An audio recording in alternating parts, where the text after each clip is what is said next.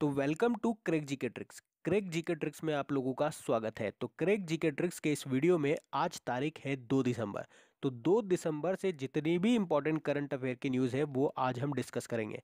और उनसे रिलेटेड जो भी इंपॉर्टेंट फैक्ट्स होंगे, वो हमें आपको साथ के साथ बताता हुआ चलूँगा। तो इस वीडियो को बिल्कुल ध्यान से और पूरा देखिएगा, क्योंकि लास्ट में मैं आप लोगों से दो इंपॉर्टेंट क्वेश्चन पूछूँगा। उनके आंसर आपको कमेंट बॉक्स में देने हैं। अगर आप इस वीडियो का पीडीएफ डाउनलोड करना चाहते हो तो उसका लिंक मैंने डिस्क्रिप्शन में दे दिया है।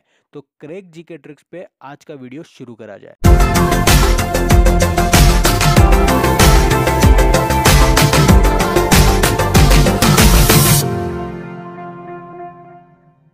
तो आज का हमारा पहला प्रश्न है, हाल ही में किसे आईएसएसएफ का सर्वोच्च सम्मान दिया गया है? तो इस प्रश्न का सही उत्तर होगा ऑप्शन सी, अभिनव बिंद्रा को। अब सबसे पहले आपके लिए आईएसएसएफ की फुल फॉर्म इंपॉर्टेंट बनेगी।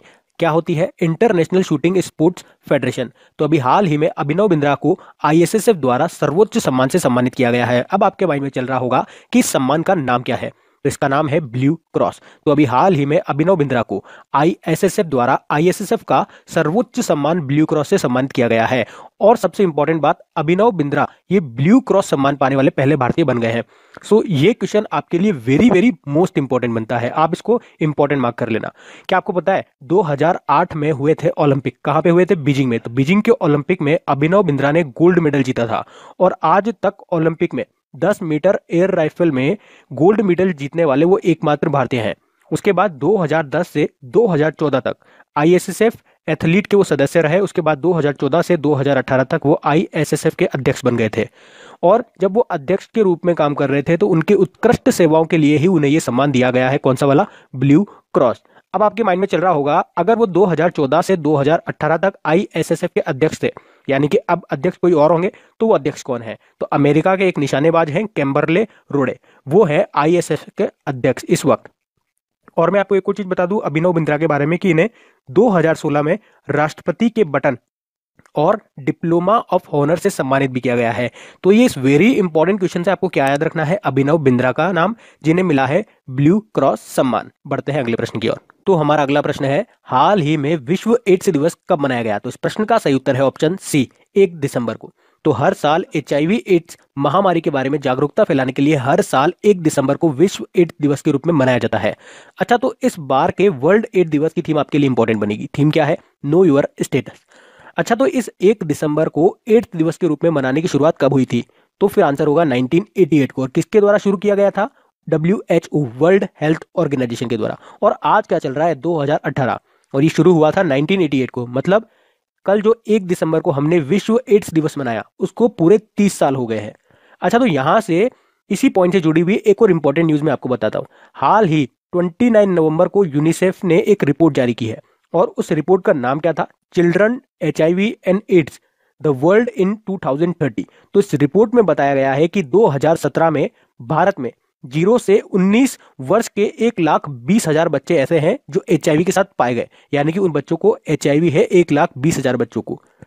अब देखो, दिसंबर का महीना शुरू हो चुका है तो हमारा रूल क्या है? जैसे जैसे महीने में आगे बढ़ते जाएँगे नए नए इंपॉर्टेंट जो डेज़ होंगे, हमारी न्यूज़ में जुड़ते जाएँगे। और हम हर इंपॉर्टेंट डे पे, पुराने वाले इंपॉर्टेंट डेज़ को रिकॉल करते हैं, जो उस महीने के होते हैं। तो दिसंबर महीने का पहला इंपॉर्टेंट डेट जुड़ चुका है। अब जैसा नया अगला डे आएगा, हम इसको रिकॉल करेंगे। तो आप इसको याद रखना। एक दिसंबर विश्व एड दिवस। बढ़ते अगले प्रश्न की ओर। तो हमारा अगला प्रश्न है, हाल ही में भारत का पहला उल्लू महोत्सव कहाँ आयोजित किया गया? तो इस प्रश्न का सही उत्तर है ऑप्शन ए पुणे में। तो अभी हाल ही में 29 और 30 नवंबर को देश का पहला उल्लू महोत्सव, नाम क्या था? भारतीय उल्लू महोत्सव पुणे में आयोजित किया गया। अच्छा तो अब इस भारतीय उल्लू महोत्सव को मनाया किसने? यानी कि इसका आयोजन किसने किया? भाई, हमने देखा कहाँ मनाया? पुणे में। अब मनाया किसने? तो प्राकृतिक शिक्षा और संरक्षण की दिशा में काम करने वाली एक एनजीओ ने। जिस एनजीओ का नाम क्या है? एला फाउंडेशन ने। तो उसके द्वारा पुणे में भारत के पहले उल्लू महोत्सव का आयोजन किया गया। अच्छा तो हमने देखा कि ये मनाया कहाँ? पुणे में। और किसने मनाया? एला फाउंडेशन नाम के एक एनजीओ ने। अब प्रश्न बनता है कि ये मनाया क्यों जाता है? अबे भाई, ये भी तो पता होना चाहिए कि मनाया क्यों जाता है। इस महोत्सव को मनाने का उद्देश्य क्या है? तो उल्लुओं के बारे में जागरूकता पैदा करना। लोगों में उल्लुओं को लेकर के जो अंधविश्वास फैला हुआ है, उसे खत्म करना इस महोत्सव का मेन पर्पज था। तो इस प्रश्न से हमें याद क्या रखना है? भारत का पहला उल्लू महोत्सव कहाँ मनाया? पुणे में। किसने मनाया इला फाउंडेशन नाम की एक एनजीओ ने। तो बढ़ते हैं अगले प्रश्न की ओर। तो हमारा अगला और इंपॉर्टेंट प्रश्न है, हाल ही में अमेरिका के पूर्व राष्ट्रपति जॉर्ज एच डब्ल्यू बुश का निधन हो गया है। आपको बताना है वो कौन से नंबर के राष्ट्रपति थे? तो इस प्रश्न का सही उत्तर होगा ऑप्शन ए वो इकतालीसवें नंबर के राष्ट्रपति थे। तो आगे बढ़ने से पहले मैं आपको बता दूँ कि जिन जॉर्ज बुश के बारे में आप लोग सोच रहे हो, ये वो नहीं है। ये उनके पिताजी हैं। रुको, मैं आपको समझाता हूँ। ये जिनका निधन हुआ है ना, उनका नाम था जॉर्ज एच डब्ल्यू बुश, यानी कि जॉर्ज हर्बर्ट वॉकर बुश। ये अमेरिका के इकतालीसवें नंबर के राष्ट्रपति थे तो इनका हुआ है निधन। ये जिनका आप फ़ोटो देख रहे हो, ये हैं वो जिनका निधन हुआ है। और जिन्हें आप जॉर्ज बुश के नाम से जानते हो वो इनके बेटे हैं। उनका नाम क्या है? जॉर्ज डब्ल्यू बुश, यानी कि जॉर्ज वॉकर बुश। ये इनका फ़ोटो भी आप देख लो। ये स्पेशली मैं आप लोगों के लिए लेकर के आया हूँ। ये भी अमेरिका के राष्ट्रपति रह चुके हैं। इनका कार्यकाल रहा था 2001 से 2009 और ये कौन से नंबर के राष्ट्रपति थे? तो 43 नंबर के राष्ट्रपति थे। अब जिनका डेथ हुआ है, उनकी हम बात कर लेते हैं। ये जो जॉर्ज एच डब्ल्यू बुश जिनका निधन हुआ है, वो अमेरिका के इतिहास में सबसे लंबे समय तक जीवित रहने वाले राष्ट्रपति बन गए हैं। अभी जब इनका निधन हुआ तो उनकी उम्र थी 94 फोर ईयर्स तो इस प्रश्न से आपको याद क्या रखना है? अमेरिका के पूर्व राष्ट्रपति जॉर्ज एच डब्ल्यू बुश का हाल ही में निधन हो गया है। वो इकतालीसवें नंबर के राष्ट्रपति थे। तो बढ़ते हैं अगले प्रश्न की ओर। तो हमारा अगला प्रश्न है, हाल ही में किसे फ्रीडम ऑफ़ पेरिस अवार्ड से वंचित किया गया है? तो इस प्रश्न का सही उत्तर है ऑप्शन ए आंग सांग सुकी। तो अभी हाल ही में म्यांमार की नेता आंग सांग सुकी को रोहिंग्या मुसलमानों का जो मुद्दा चल रहा था, उसके कारण फ्रीडम ऑफ़ पेरिस अवार्ड वापस ले लिया गया है उनसे। तो आंग सांग सुकी ये पुरस्कार लौटाने वाली दुनिया की पहली व्यक्ति बन गई है। ये पुरस्कार जो है प्रतीकात्मक पुरस्कार है। अच्छा तो इससे पहले भी इनसे कुछ पुरस्कार लिए गए हैं। कनाडाई नागरिकता इनसे ली गई थी और एमनेस्टी इंटरनेशनल द्वारा एम्बेसडर ऑफ़ कॉन्शियस अवार्ड वापस ले लिया गया था। जब ये लिए गए थे, तब मैंने आपको बताया था। और अब इनसे क्या लिया गया है? फ्रीडम ऑफ़ पेरिस अवार्ड वापस ले लिया गया है। तो आंग सांग सुकी की बात हो रही है जो कि म्यांमार की स्टेट काउंसलर है। तो म्यांमार को आप मैप में देखिए। ये रहा म्यांमार। कैपिटल क्या है? नाइपिडू। करेंसी क्या है? क्यात। और स्टेट काउंसलर कौन है? आंग सांग सुकी बर्मा पहले म्यांमार का ही पुराना नाम था। तो ये भी आप याद रखना। बढ़ते हैं अगले प्रश्न की ओर। तो हमारा अगला प्रश्न है, हाल ही में किसने सी आई आई एग्रोटेक इंडिया 2018 के तेरहवें संस्करण का उद्घाटन किया है? तो इस प्रश्न का सही उत्तर होगा ऑप्शन ए, रामनाथ कोविंद। तो अभी हाल ही में राष्ट्रपति रामनाथ कोविंद ने सी आई आई एग्रोटेक इंडिया 2018 का उद्घाटन किया है। मैंने ये न्यूज़ आपको पहले भी बताई थी। कब बताई थी? जब इसका अनाउंसमेंट हुआ था कि हमारे राष्ट्रपति रामनाथ कोविंद जी इसका उद्घाटन करेंगे। अब जब उद्घाटन कर दिया गया है, मैं फिर आपको बता रहा हूँ। तो यहाँ पे सी आई आई की भी फुल फॉर्म आपको पता होनी चाहिए। कॉन्फेडरेशन ऑफ़ इंडियन इंडस्ट्रीज़ तो ये इसका तेरवा संस्करण है। और दूसरा इंपॉर्टेंट प्रश्न क्या बनेगा कि इसका उद्घाटन तो हमारे राष्ट्रपति जी, श्री रामनाथ कोविंद जी ने किया है, लेकिन उद्घाटन किया कहाँ पर है? तो उसका आंसर होगा चंडीगढ़ में। अब ये सी आई आई एग्रोटेक इंडिया है क्या? तो इन शॉर्ट में आपको बताता हूँ, कृषि के क्षेत्र को बेहतर सुविधाएँ कैसे प्रदान की जाए, उसके लिए ये कार्यक्रम है। तो सी आई आई एग्रोटेक इंडिया 2018 की भी थीम आपके लिए मोस्ट इंपोर्टेंट बनेगी। थीम क्या है? Technology in agriculture increasing farmers income तो इस प्रश्न से आपको याद क्या रखना है? सी आई आई एग्रोटेक इंडिया 2018 का उद्घाटन किसने किया? हमारे राष्ट्रपति ने। कहाँ पे किया? तो चंडीगढ़ में किया। ये इसका कौन सा संस्करण था? तो तेरवा संस्करण था। तो ये सब चीज़ें आप याद रखेंगे और बढ़ते हैं अगले प्रश्न की ओर। तो हमारा अगला प्रश्न है, हाल ही में कहा उन्नीसवा हॉर्नबिल फेस्टिवल का उद्घाटन किया गया? तो इस प्रश्न का सही उत्तर होगा ऑप्शन बी, नागालैंड में। तो अभी हाल ही में नागालैंड में उन्नीसवे हॉर्नबिल फेस्टिवल का उद्घाटन किया गया है। तो नागालैंड की संस्कृति को प्रदर्शित करने के लिए ये मनाया जाता है हॉर्नबिल फेस्टिवल। अब दूसरा प्रश्न यहाँ से ये बनेगा कि इस हॉर्नबिल फेस्टिवल का उद्घाटन किया तो किया किसने? ये भी तो पता होना चाहिए। तो हमारे गृह मंत्री राजनाथ सिंह ने। और अभी दो दिन पहले मैंने नागालैंड से संबंधित आपको एक करंट अफेयर्स पढ़ाया था कि पर्यटक पुलिस को भी लॉन्च किया है नागालैंड ने। तो अब उन्नीसवा हॉर्नबिल फेस्टिवल शुरू हुआ है नागालैंड में तो नागालैंड को आप मैप में देखिए। ये रहा नागालैंड। कैपिटल क्या है? कोहिमा। सीएम कौन है? नेफ्यू रियो। और गवर्नर कौन है? P B Acharya. तो इस प्रश्न से इतनी जानकारी लेते हैं और बढ़ते अगले प्रश्न की तो हमारा अगला प्रश्न है, हाल ही में आईएसएसएफ के उपाध्यक्ष किसे नियुक्त किया गया है? तो इस प्रश्न का सही उत्तर होगा ऑप्शन डी रणिंदर सिंह। तो आईएसएसएफ की फुल फॉर्म हमने फ़र्स्ट वाले क्वेश्चन में देखी थी। क्या थी? International shooting sports federation. तो इसमें होते हैं चार उपाध्यक्ष, जिसमें से एक बने हैं रणिंदर सिंह और ये पहले भारतीय हैं जिन्हें आईएसएसएफ का वाइस प्रेसिडेंट यानी कि उपाध्यक्ष चुना गया है। अच्छा तो आपको बता दू रणिंदर सिंह के बारे में कि ये राष्ट्रीय राइफल एसोसिएशन के अध्यक्ष भी है। अब बात हुई है आईएसएसएफ की, यानी कि इंटरनेशनल शूटिंग स्पोर्ट फेडरेशन की तो इसकी स्थापना हुई थी 1907 को। हेडक्वार्टर इसका है म्यूनिच जर्मनी में। तो इस प्रश्न से आपको याद रखना है आईएसएसएफ के उपाध्यक्ष कौन बन गए हैं? रणिंदर सिंह। बढ़ते हैं अगले प्रश्न की ओर। तो हमारा अगला प्रश्न है, हाल ही में जारी America top 50 women in tech नामक सूची में कितनी भारतीय शामिल है? तो इस प्रश्न का सही उत्तर होगा ऑप्शन सी चार भारतीय। तो अभी हाल ही में फोर्ब्स ने American top 50 women in tech नाम की एक सूची जारी की है, जिसमें अमेरिका में टेक्नोलॉजी सेक्टर में 50 दिग्गज महिलाओं को रखा गया है और उन 50 में से चार भारतीय मूल की महिलाएँ हैं। तो उन चार के नाम क्या है, वो भी आपको पता होना चाहिए। पद्मश्री वारियर, कोमल मंगतानी, नेहा नारखेड़े कामाक्षी, शिवराम, कृष्णन। तो ये जो America top fifty women in tech नाम की सूची है, ये जारी की है फोप्स ने। तो फोप्स के बारे में जानते हैं।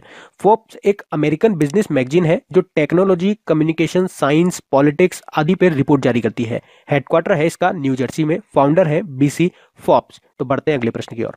तो हमारा अगला प्रश्न है, हाल ही में कौन अनाथ बच्चों की तस्करी को दास प्रथा मानने वाला पहला देश बन गया है? तो इस प्रश्न का सही उत्तर होगा ऑप्शन सी ऑस्ट्रेलिया तो हाल ही में ऑस्ट्रेलिया अनाथ बच्चों की तस्करी को दास प्रथा मानने वाला पहला देश बन गया है। अब एक्चुअल में ये होता क्या है, मैं आपको समझाता हूँ। देखो छोटे छोटे देशों से बच्चों को सप्लाई किया जाता है पश्चिमी देशों में और वहाँ पे जो अनाथालय होते हैं ना, वहाँ पे उनको भर्ती करा दिया जाता है।